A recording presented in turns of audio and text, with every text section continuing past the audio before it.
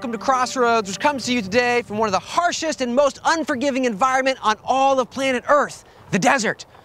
Blazing sun and scorching heat by day, bitter cold and frigid temperatures at night, biting wind pretty much all the time. Oh, and it's full of stuff that could kill you, like scorpions and snakes. I've been told to watch out for the green ones. Apparently they kill you in like five minutes or something. Also, there's biting ants. There's some just over there.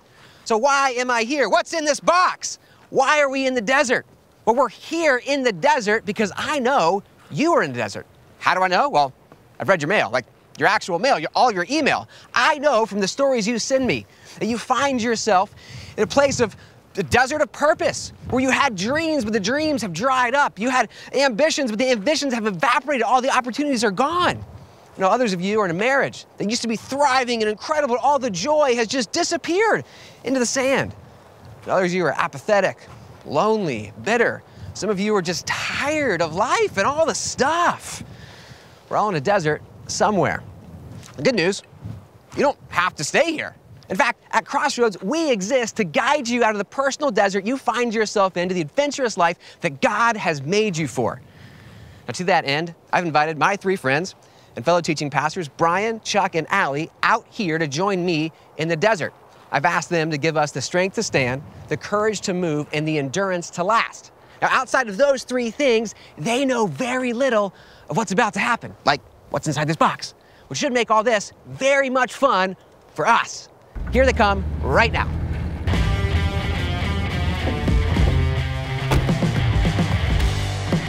Say hello to your cousin. There's my little, my little cousin.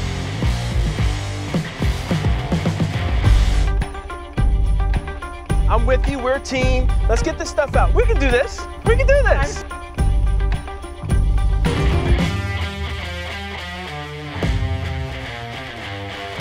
I did not expect this wind, Chuck. I'm not gonna lie to you. Look at my hair.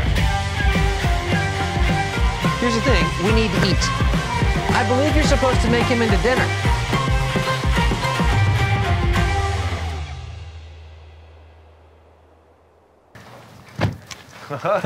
Oh. What is going on? Are we ready to play How's it going? today? You made it. Get in here, Chuck. You hiked all the way from Ohio. Are you trying to look like a dork?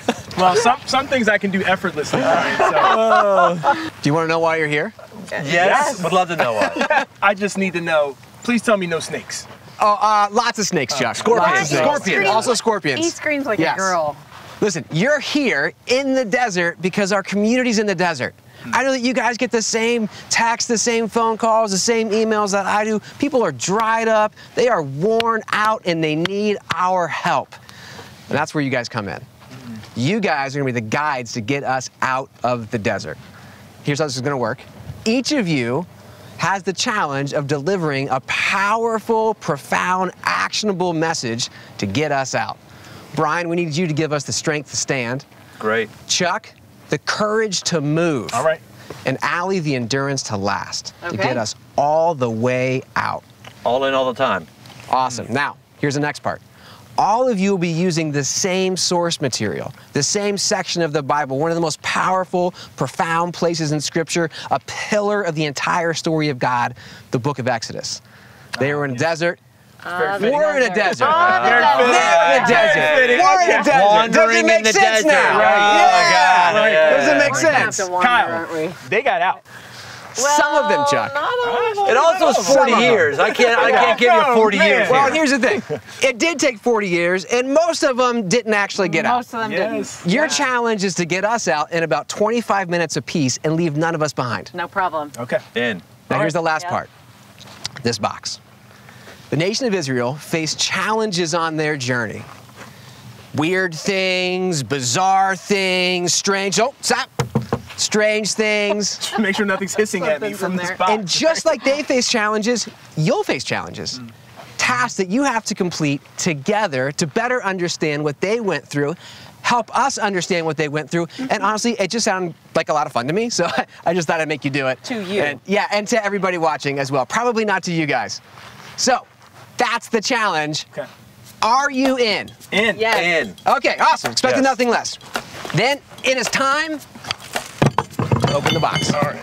Oh man. There you go, Allie. Nice. Good teamwork already. Here we go. Their enthusiasm is admirable, but we'll see if it lasts once they open the box and start the oh. challenges. Uh, like I said, this should be fun. I for mean, us. obviously. The Bible. Right. You will need to use that. I, Oh, this is cool. Oh, what? Revelation 20. Oh, The business this end the end of doesn't the seem very helpful. I like all this oh, please, stuff. What in the heck is this? Is that a sextant? who knows? A what? I think it's a sextant. Do not know how to use it, but I think I. Yeah, we have GPSs now. Yes. We have a GPS. Can we use our phone? No, GPS? no phones. No phones. Okay, so what's this? That okay, those, everyone grab one. You find your name on it. Now each of you will have a challenge in your message. Do not open that until you begin your message. So take it out, whatever it says on the inside, you'll do it. Is there anything else in there? Well, There wait, is one wait. thing. There is this here. A map. That looks very important. Here, let's, Hey, uh, let's. All right, put that up here. What do we got? Hold it down. Where's, where's the beginning? You are here. Okay. You are here in the middle of nowhere. We are. Mm-hmm. Okay, so here it is. First thing is strength to stand. Okay. Week one. That's me. Um, survive got a the desert, week one challenge. Okay. Mm-hmm. Okay. So we're not just preaching, we're actually doing things. While you preach your week one message, Chuck and Allie, you'll go to that location on the map and do the challenge. Mm, okay. That's how to work every week. Okay. All right. And- There is a literal very big crack that we have to go through. There here. are several, yeah. Wow. Uh-huh, All okay. right. Uh, while these are actual locations on the map, you will notice it's not to scale, and we weren't quite sure about the Hundreds of Distance. miles. Instances, I mean, there better be some palm trees Yeah, around here I agree. somewhere. Listen, we have full confidence in you. Okay. I think it's time to head out. All right. So Brian, why don't you grab your envelope? Let's go. Head off to your location. Chuck and Allie, head off to find challenge number one. Where's my location? I don't know. You got the map. This direction. Map not to scale. Chuck's got the map. All right, I don't know. let's Let's go. go. Talk to him. Okay. Thought we made that clear. Let's go. Let's do this. This is going to be amazing, I think. As Chuck and Allie set off to find their challenge, Brian began his strength to stand message by charging up the hill and shouting down the wind, literally.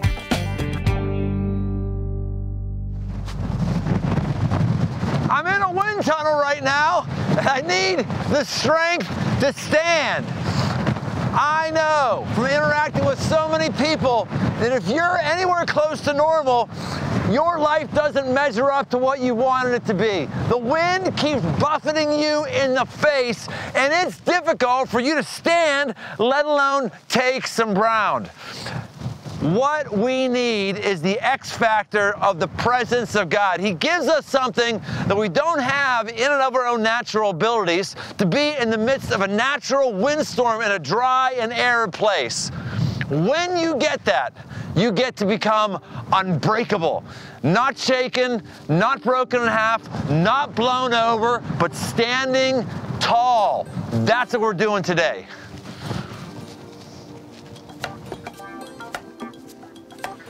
I had the strength to stand up on that ridge with that wind blowing, but my vocal cords didn't have the strength to endure. So now we're down in places a little more serene.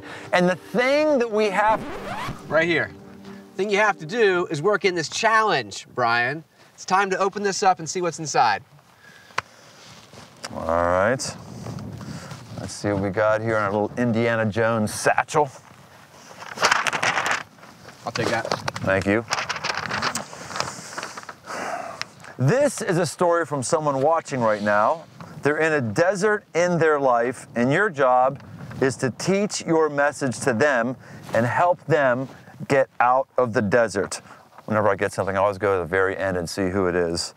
Derek is his name. I also go through emails and real quick to see if it's negative and going to be cracking on me. Are you I, I do that all the time. Okay, they're not cracking on me. Here- here's what it says. My wife and I have been going through troubles. We both used to be very religious, but over time walked away. But I wish God would give me guidance. I've been stuck between what I feel God is calling me to and my responsibilities as a husband. How do I find adventure in the day to day? What should I do in my marriage? Derek. Okay, Derek, I got you here. Let me just talk about the religion piece first. Religion tries to tell us if we do all these things, then God's going to be okay with us and He's not going to smite us. So go to church, do the right things, and magically things are going to be okay. It's kind of a sense of controlling your morality. And there's some good things about that. Great, go to church and control your morality. But that's different than tapping into the X factor of the power of God who can enable you to not just stand in the midst of a difficult marriage or a difficult season in your marriage, but to actually endure, to actually thrive.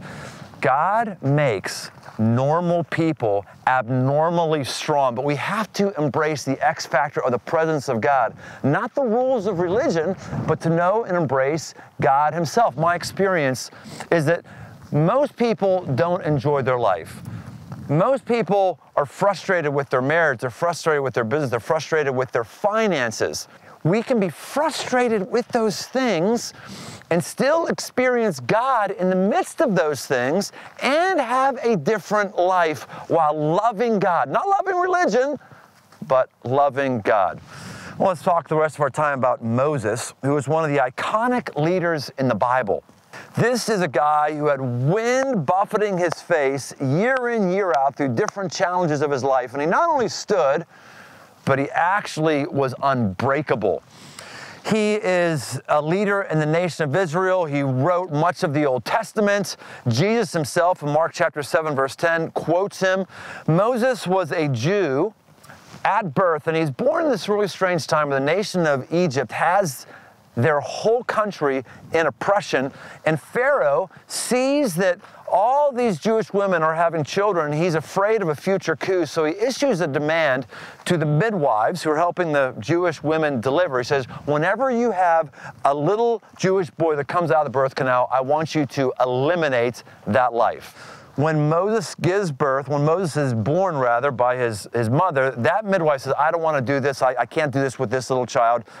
Moses' mother nurses him, breastfeeds him. About three months old, though, he's a bit large and making fusses, and she's got to get rid of him. And the way she does that, she puts him in a basket, floats him down the river, and downriver, whether she knew this or not, we're unsure of, downriver is Pharaoh's house, and the women of his house are hanging out by the stream one day. They see this basket, they pick up this basket, they see this little baby, and as many women do, oh, I need this child, I need to save this child. And Moses, this little Jewish baby, ends up growing up in Pharaoh's household. Pharaoh probably had a pretty sweet crib on the side of the river. He didn't live in a van down by the river.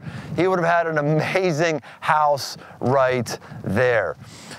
Moses gets an ideal situation where he's brought up in this amazingly wealthy family and his mother actually enters the picture and actually nurses him as his nursemaid, even though Pharaoh's household doesn't really know this. I, I really identify with this situation because as Moses is adopted, and it's amazing that he has a chance at life, and in the midst of all these opportunities that Pharaoh's household would have given him, there's still a primal wound.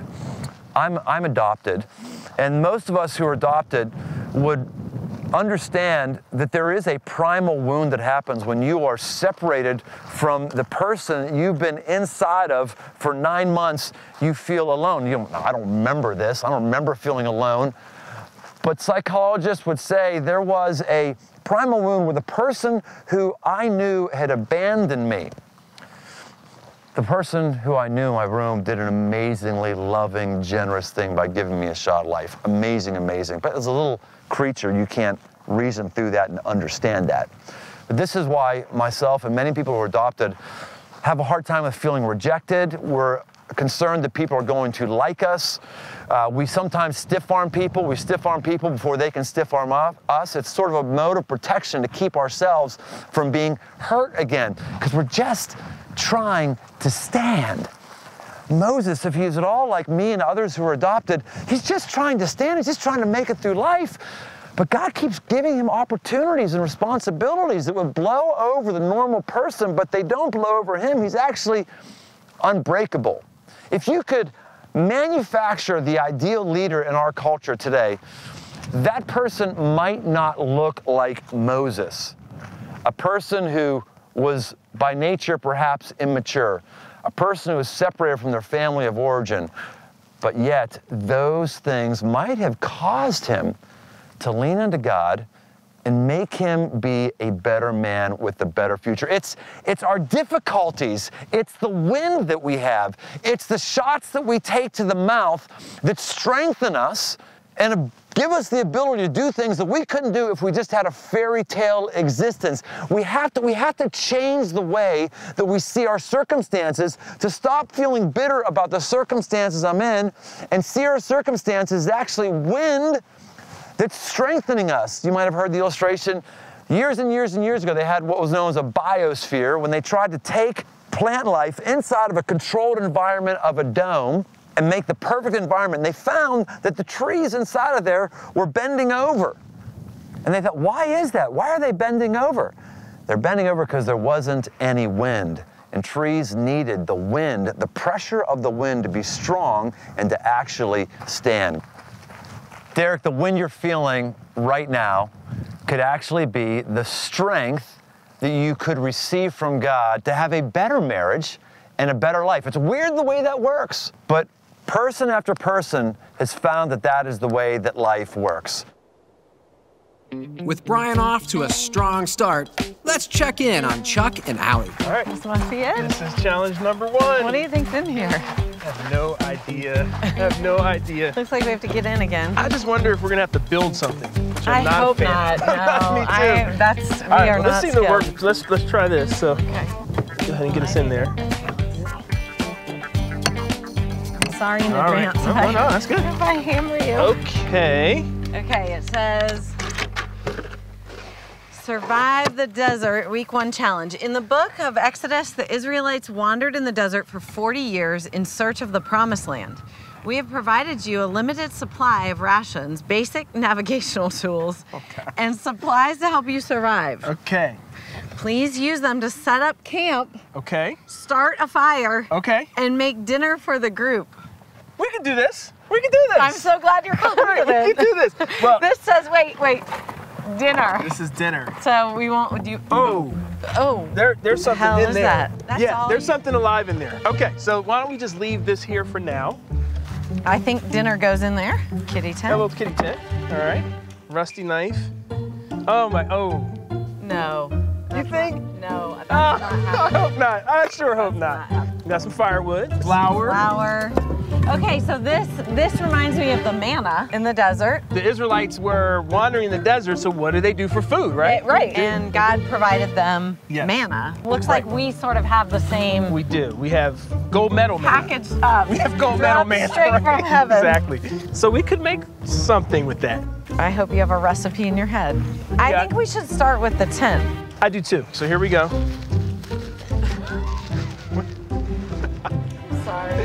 Oh man. All right, so let's get this tent going here. There, I did my part. All right. Still not quite sure. Oh, Our tent. we lost our tent. yeah. That's that's. Did, I did not expect this wind, Chuck. I'm not gonna lie me to you. It's giving me a whole The new desert, you appreciation. know? Look at my hair. Not off to the best of starts. Let's hope things go better for Chuck and Allie and get back to Brian. life can be incredibly frustrating for us. Let's think about our yearbook. Go way, way back to your high school yearbook or go way, way back to the Facebook posts of your friends when you were in high school. What are some of the dreams that were articulated there? Maybe dreams like, I'm going to be a physician, I'm going to be a surgeon, I'm going to work with inner city schools, I'm going to start a business, I'm going to be an inventor. How many of those things actually come to pass? Very few, which is why many of us are very frustrated with life because the things that we, we thought we would have, we don't have. And then we go into a downward spiral of feeling bad about ourselves and feeling we're constantly playing defense instead of seeing that what we've experienced could be the very wind that's strengthening us for the future. Author Max Lucado writes this Something happens to us along the way. Convictions to change the world downgrade to commitments to pay the bills. Rather than make a difference, we make a salary. Rather than look forward, we look back. Rather than look outward, we look inward. And we don't like what we see. I'm hoping you stop looking back. I'm hoping you stop looking inward.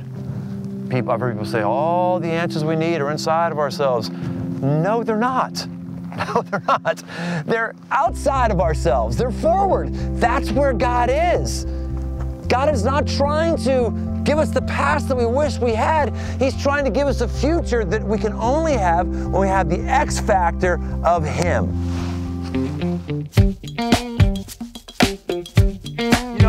You know what? I'm with you. We're a team. Let's get this stuff out. We, we can, we'll just move on to the next thing. We do have Fire. wood, so we can do. Yeah, let's make a fire. So let's get this. This is it. We can make a spark with this. All right. Okay. I'm gonna watch while you do that. Light this rope on fire. I'm just gonna sit right here. There's a spark. Who are we kidding? We're not gonna get this. We didn't start the fire. No, we didn't. And I don't think we can. All right, so we, we, got, we have Whatever. dinner. We have dinner here. This is I'm a- concerning to I- you, I know. I you know, don't hey, really want any part of this. there's a bird in here. You can see it. I just saw an eyeball. yeah, there's a bird in here. An eyeball. Is there anything else in here? No, just the one bird. I see you. I don't see want to hurt it. We're not gonna hurt it. Well, it looks You're like- not hurting this bird. I'm- I'm, I'm just not- telling you that right now. All right, so here we go. Okay. Bye, birdie. Oh, quail. oh. Oh, look at it. That is a quail. Bird. Quick, hit the hammer. Bird. I'm just, I'm just kidding. I'm just kidding. I'm just kidding. We are not hurting this. we're, we're not gonna hurt this. we are not gonna hurt this bird. Hey, Chuck. Hey, Allie. Kyle, How's it going? Kyle. would you like to meet my new little friend here? Excellent. Does he have a name? Um, not yet. out, Not yet. out. We're not sure. Let him out. Okay. Here, put something Uh, on the, I get the believe flint. I No, believe no, you're no. supposed to make him into dinner. Oh, no. It's not happening. Okay. Chuck's gonna We'll just- find some other we'll way to eat. We'll just do bread. Weren't you? Didn't you also have a shelter? What happened to your shelter? It flew away. Had, yeah, past tense. We had a shelter. Didn't expect the What wind happened? out Where's here. your fire at? We're we're getting there. we, we think we could work on that. We got think to- we think that one I has feel like- potential. Well, we you- could sit After there long hours enough. and hours of Fire's struggle. why don't you come back Whoa, to oh, the? whoa, whoa, Birdie. whoa, whoa, whoa! Oh, you guys, Well, I, I'd probably catch him. where did you get that poor thing? He's I'm gone. kind of mad at you right now. You know what? Maybe try the bread. That's all. Remember, we're helping the Did people. you put the bird in that Remember, box? Remember, we're helping the people. I'm not going to confirm or deny that I put the bird in the box. I feel His name very is angry Petey. with you right so now. just, I would so make I'm the supposed to get bread. Uh huh. Get that bird. Here's the thing: we need to eat. So, I know. I understand that God gave the Israelites quail. I do. uh huh. They were kind of grumbly about it. You remember Just kind of like right? you and Chuck about this whole thing, right? You got it, Chuck. Catch that I'm working quail. on it. Kyle, Yeah. I'm not gonna kill that quail.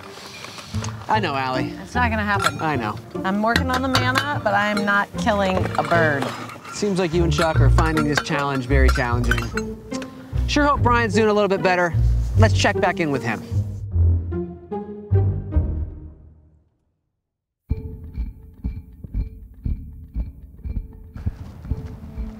Moses had that X factor, and he needed it as life kept blowing him problem after problem. Strange circumstance after strange circumstance led to him still standing strong, even though sometimes he did run. In the book of Exodus, chapter 2, verse 11 to 14, it says this One day when Moses had grown up, he went out to his people and looked upon their burdens, and he saw an Egyptian beating a Hebrew, one of his people. He looked this way and that, and seeing no one, he struck down the Egyptian and hid him in the sand. And when he went out the next day, behold, two Hebrews were struggling together. And he said to the man in the wrong, Why do you strike your companion? And he answered, Who made you a prince and a judge over us? Do you mean to kill me as you killed the Egyptian? And then Moses was afraid and thought, Surely this thing is known. Somewhere along the line, Moses comes to recognize that while he's in an Egyptian home, he's actually a Jew. When he finds this out, we don't know when he finds this out, but something primal inside of him comes out when he sees an Egyptian beating one of his own people by birth. And he just unleashes pain on him and kills the guy. Next day, similar situation with two Jews, and one of them just cracks on him, and he realizes, oh no, I've been found out. If Pharaoh and everybody else finds out my family of origin story, I am going to be dead. And so he leaves, he runs away, he's a murderer and he's a fleer. He's, in some ways, running from his problems.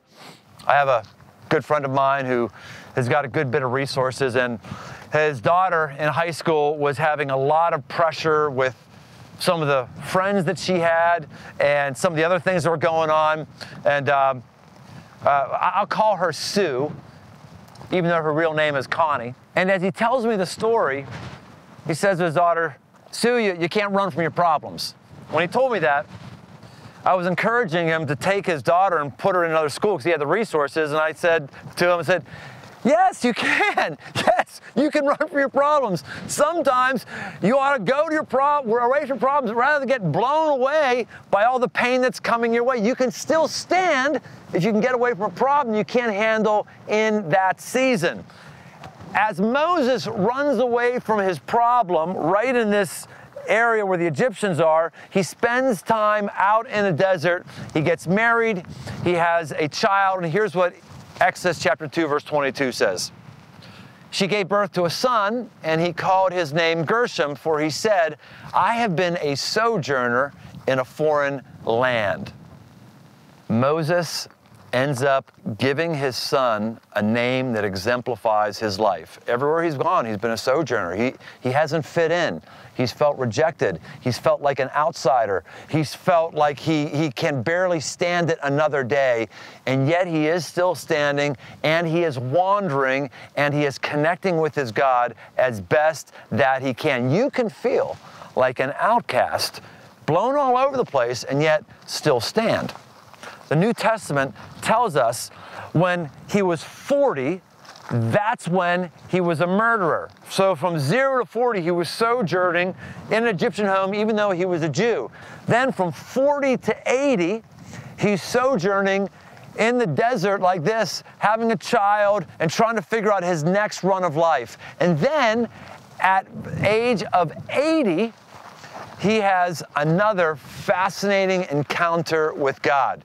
Now, before I tell you about that encounter that he had, I, I want to make sure that you and I understand that he had problems, he had difficulty, he had wind that was blowing his face, he had all kinds of obstacles he had to overcome. His life was not easy. He would have never, ever, ever scripted his life to be this way. Nobody would. And life is getting late for him, too. It's not like looking back at high school. He's now way later in life, and yet he's still standing and he's still strong. As Brian starts the final push of his message, what he doesn't know is that I'm about to jump in with a question every sane person has to ask. Let's see if he'll have a good answer or get completely tripped up. The last thing I want to look at in Moses' life comes from Exodus chapter 3, verse 1 to 5. Here's what it says. Now Moses was keeping the flock of his father-in-law Jethro, the priest of Midian, and he led his flock to the west side of the wilderness and came to Horeb, the mountain of God. And the angel of the Lord appeared to him in a flame of fire out in the midst of a bush. And he looked, and behold, the bush was burning, yet it was not consumed. And Moses said, I will turn aside to see this great sight, why the bush is not burned. And when the Lord saw that he had turned aside to see, God called to him out of the bush, Moses, Moses. And he said, Here I am. And then he said, Do not come near. Take your sandals off your feet, for the place on which you are standing is holy ground. Moses is in a Whoa, dry. whoa, whoa, wait, wait, wait, wait, wait. This story's getting a little crazy, okay? Uh, are sane people really supposed to believe that God talked to a guy out of a bush that's on fire? Yes, I'm going to explain it in just a moment. Maybe they'll understand if you don't interrupt me the wrong place. But if, if we if we're to expect that there is a God who is real, has an X factor of power, we should expect X power, unusual events to happen from time to time. Moses experienced them. I want more of us to experience them every once in a while. Great answer. Okay, keep going, keep going. Okay. So he's out in this dry, arid, humid environment. Wind is blowing, all kind of stuff is happening. He's just doing his chores one day, and he sees way off in the distance a bush that's burning. Now it's interesting here that he might have seen bushes burning a number of times because in dry, arid environments, it happens. But this one keeps burning. It's burning and the bush isn't consumed. That's what catches his eye, not the fire, but that it's not going out. Like a little bush or it was a huge bush, we don't know what it was, but it just kept going and going. He said, Something unusual is happening here. When you want God to break into your life, bring you an X factor, give you the ability to stand, there's a number of things that Moses does in this story that you and I need to do. Derek, this is for you. One, turn the noise off. When Moses came into an environment like this, he didn't have the same distractions he would have had elsewhere. He had time to think. He had time to pray. He had time to process. We need to stop being so stimulated in our lives that God can't stimulate us. He can't break through the clutter. We've got to get to places that are calm and quiet to actually hear and sense the presence of God. Number two, take your shoes off. God tells him to take his shoes off because the place where he is standing is holy ground. Not that, not that that dirt itself was more special than the dirt a mile away, but it's special because God is there. The carpet in a church isn't any more holy than the carpet in your home unless you're hearing from God in that church, in that building, or in your home. We need to recognize that when God does break through, and He might be breaking through to you, Derek, or anybody else here right now, when He breaks through, you got to recognize this is really important. This is a special, sacred moment. Soak in what you're sensing, what you're feeling, and recognize that the calmness that you're having, or the ideas that you're having, or the newfound resilience that you're having is actually the presence and the gift of God. It is the X factor. And number three, take off on an adventure. Moses doesn't just have a little kumbaya circle with God that's a nice thing to have in your memory book. He is getting equipped and motivated for his next adventure. And adventures are not climbing these mountains, though that may be adventuresome. The adventures that are most important to you are the adventure that Derek has. How do I keep my marriage going? The adventure of how do I live on my meager resources I have right now? The adventure of how do I break chemical addiction? The adventure of how do I break my pornography fixation? The adventure of how do I find the right employer that's going to meet my needs and get me to a new place. These are the adventures that will define your life and where you can encounter God in the midst of those. You might actually have more in common with Moses than you think of. You're never going to write parts of the Bible. You may never encounter a bush that is burning and you've never seen it consumed. But if you've ever felt like you are alone, that you can barely stand, that wind is blowing you down, you and I can be like Moses and we can have the strength to stand. We can be used in powerful ways, but you have to believe that. You have to believe that you're not just a powerless slave that's blown all over the place, that you're a very child of God and He has a purpose for you. He has dreams for you, and you're not going to know those dreams maybe or the fullness of them for some time in the future. But where you are right now, you can stand. You can stand and you will say, I will be different. I will hear. I will listen. I will notice. And when it's ready, I will go. Isaiah chapter 40, verse 29 says that he gives power to the faint, and to him who has no might, he increases his strength. There is one who can increase your strength even when you feel that you are about to faint.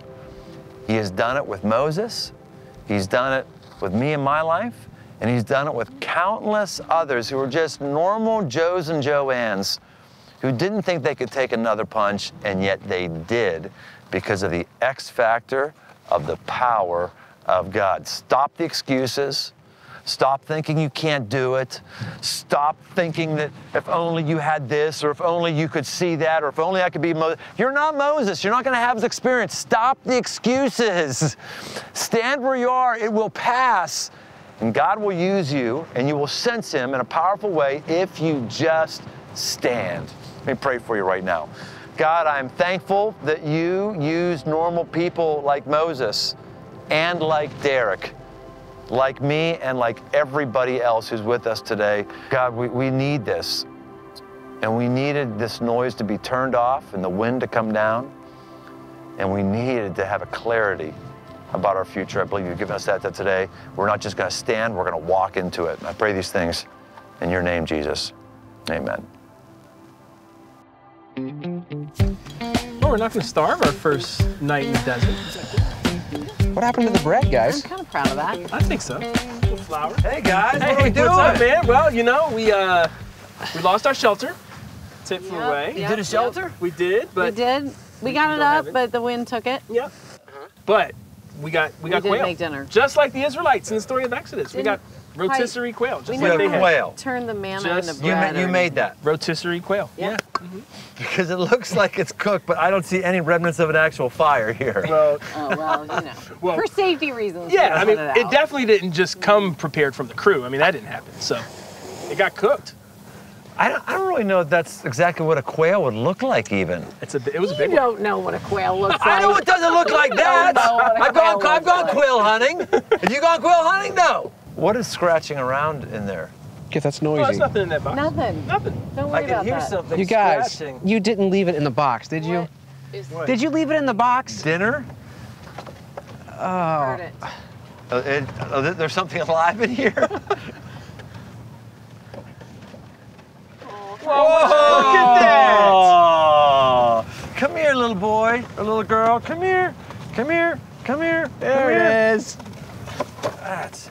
Oh, say hello to your cousin. There's my, little, there's my little cousin. That's what that's what you would have looked like, except smaller. If someone knew how to it. make a fire. Don't and how hurt it. We couldn't do it. We couldn't do it. All right. All right. You get a reprieve today. You had strength to stand. strength to stand. I hope today you found a piece of the strength to stand. That's why this channel exists, to guide you to the adventurous life that God made you for. Make sure you don't miss any of our new videos that come out. Hit the subscribe button right here. We'll see you next week.